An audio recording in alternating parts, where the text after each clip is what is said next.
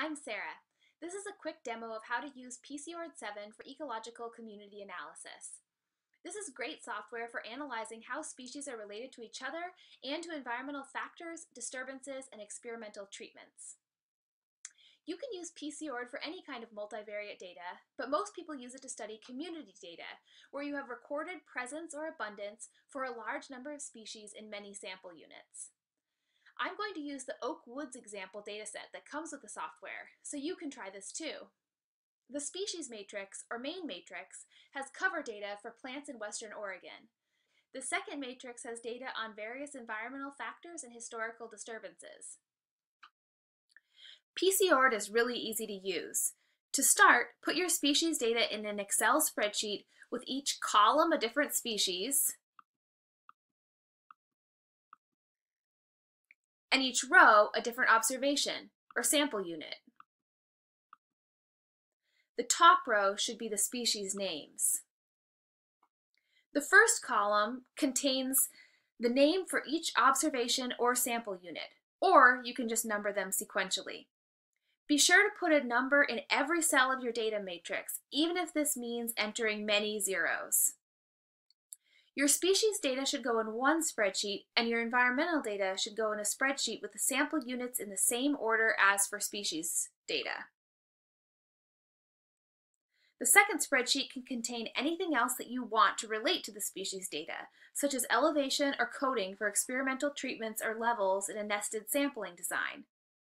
In this example, both the species matrix and the second matrix are in the file oakwoodssimple.xlsx. It's called simple because there's no header on the matrix, other than the first row containing the variable names. When you finish setting up your data, save the spreadsheet, then close Excel. You have to close Excel or it will block other software from reading the file. Now I'm in PCORD. Select File, New Project, then enter a name for the project. Let's call it Oak Woods. I have selected this user data folder to store my data for this project. We'll import the main and second matrices from oakwoodssimple.xlsx, so drag that file into both the main and second boxes. Then click Save Project File. Select Simple Excel Spreadsheet as the type of matrix tell it which, which worksheet you want it to import. Let's do species first. You then get this dialog where you specify what is in the spreadsheet. We want to read the row names from the file. The rows are stands, and the columns are species. The row names start in cell A2 and the column names start in B1. So that's already correct. Okay that. Then specify which variables to include. We're going to use all the species, so you can leave them checked. Leave the Q's as they are, since all of the variables are quantitative rather than categorical. Okay, that imports it to a temporary matrix called work.mjm. Now it wants you to repeat this process for the second matrix, so select the second matrix. The next dialog will be the same as before, except that the columns are now miscellaneous variables rather than species. So let's call the columns attributes, or attribs, for short.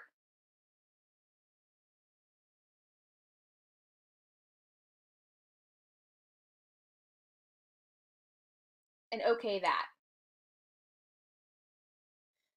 Then this next step is different from the main matrix because some of the variables in the second matrix are categorical, not quantitative. So click on the Q's to change them to C's for the categorical variables.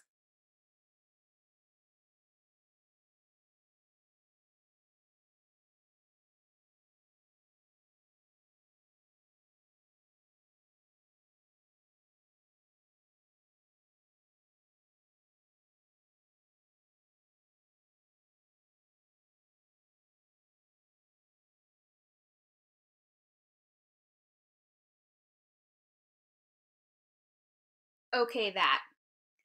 Now PCORD wants you to save the two matrices you imported, so give them names like oakwoods1.mjm and oakwoods2.mjm. MJM is the extension for PCORD data matrices.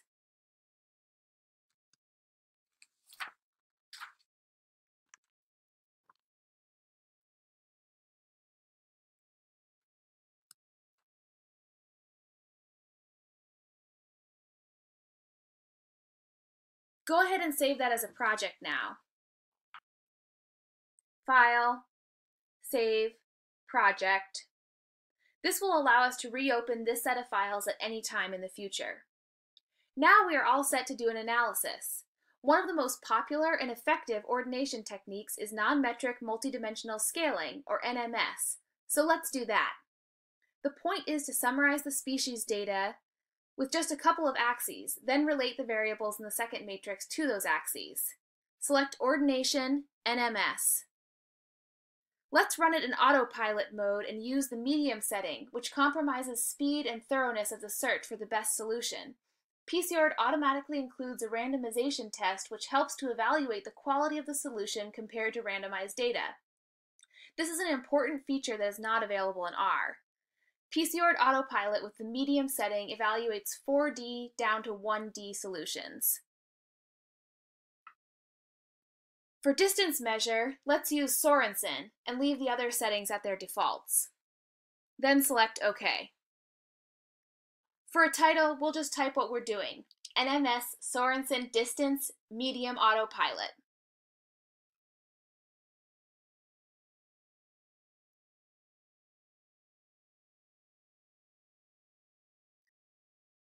Okay. While your computer is searching for the best solution, graphs of stress for each run are displayed.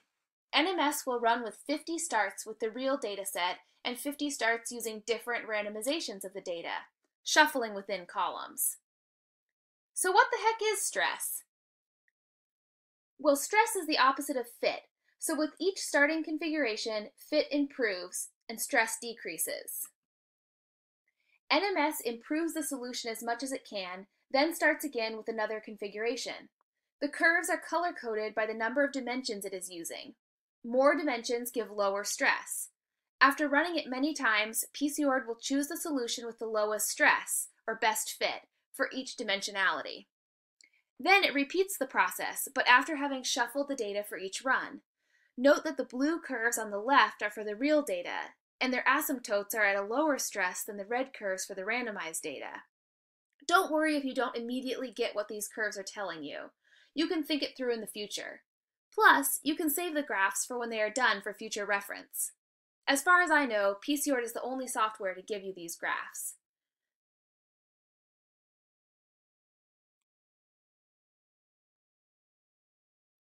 So this is reasonably fast, but there are only 47 sample units. The runtime goes up exponentially with the number of sample units. PCORD can handle very large data sets, but sometimes time gets to be a factor.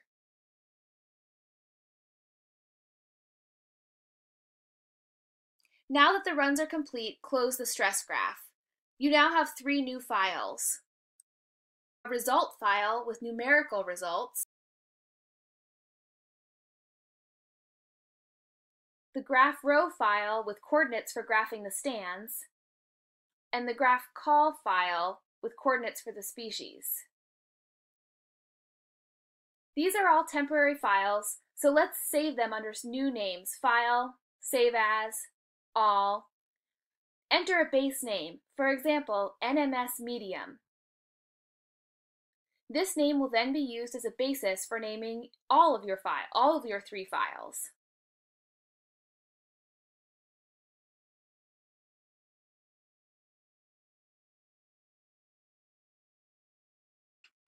Now let's look at the result file and scroll down to the first table that summarizes what happened.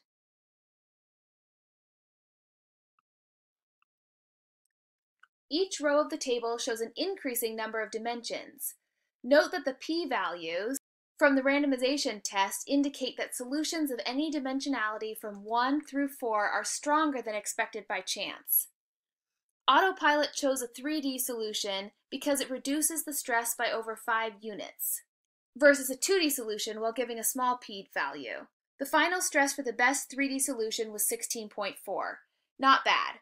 If you try this, you might get a slightly different number because we are using random starting configurations. Now let's graph the ordination. Start with a joint plot, graph, graph ordination, 2D. If you're unfamiliar with interpreting ordinations, see chapters 13 and 16 in McCune and Grace's Community Analysis book. Each triangle is a stand. Each point is a species. Let's turn on the species labels.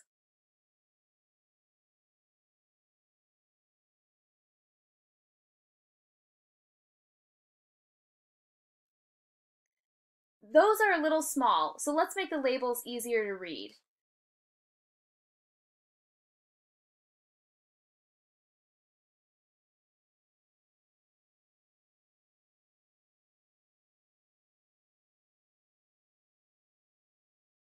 Where they overlap, you can drag them out of the way.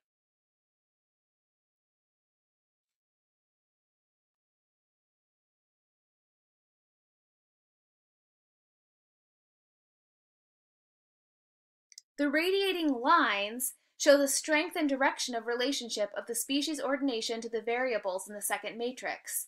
The strongest quantitative variables turns out to be species, species richness, PDIR, heat load, and tree height. The points are color-coded by aspect class, but we can change that to other categorical variables. Before we experiment with that, I'll make it easier to see by turning off the species and species labels.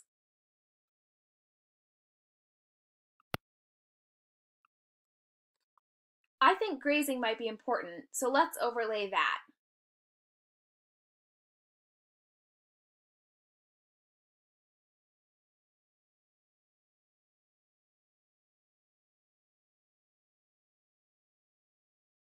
It does look like grazed and ungrazed stands have different communities. Let's see how much of the variation in the distance matrix is represented in the ordination diagram.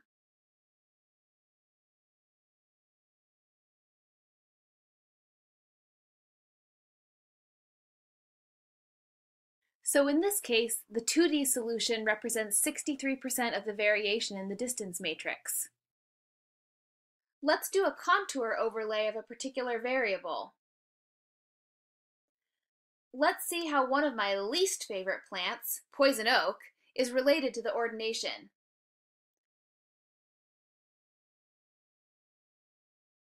Looks like it's associated with short trees and high species diversity.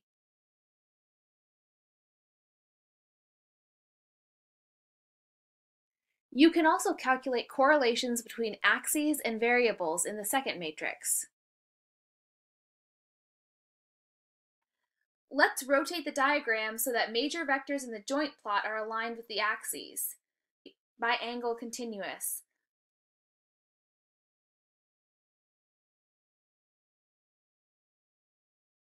Select 5 degrees for the increment and click Next repeatedly to gradually rotate the ordination. I'm curious how the tree species relate to the ordination, so let's use a hilltop plot to show regions of high values for particular tree species.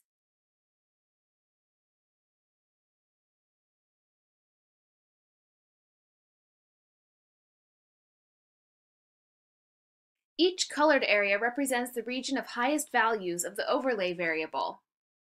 Take your time and explore the options. There's a lot here. So this is a brief introduction to ordination with PCORD 7, but there is so much more that you can do. Just a quick look at some other menu items. Advisor gives you a critical summary statistics and has an analysis wizard for helping you decide which analyses are appropriate. Modify has all kinds of tools for data management and transformations. Summary provides many critical statistics including outlier analyses and species area curves. Ordination has 12 different ordination methods. Many graphs are available besides ordinations, including dendrograms, NMS scree plots, dominance diversity curves, scatterplot matrix, distributions, box plot The Groups menu has many different methods for finding and comparing groups. The Traits menu makes it easy to calculate community-weighted means, functional diversity, and fourth corner analysis. The Help menu provides lots of resources, most importantly, a detailed help system. You can access it either by clicking on the Help menu, then Contents, or by using the Help button for particular dialogues. For example, say you want to run MRPP, Groups, MRPP, but don't understand the first dialogue. Just click on the Help button and it takes you right to the spot you need in the help system. Hopefully that's enough to get you started. Remember to have fun. Thanks for watching.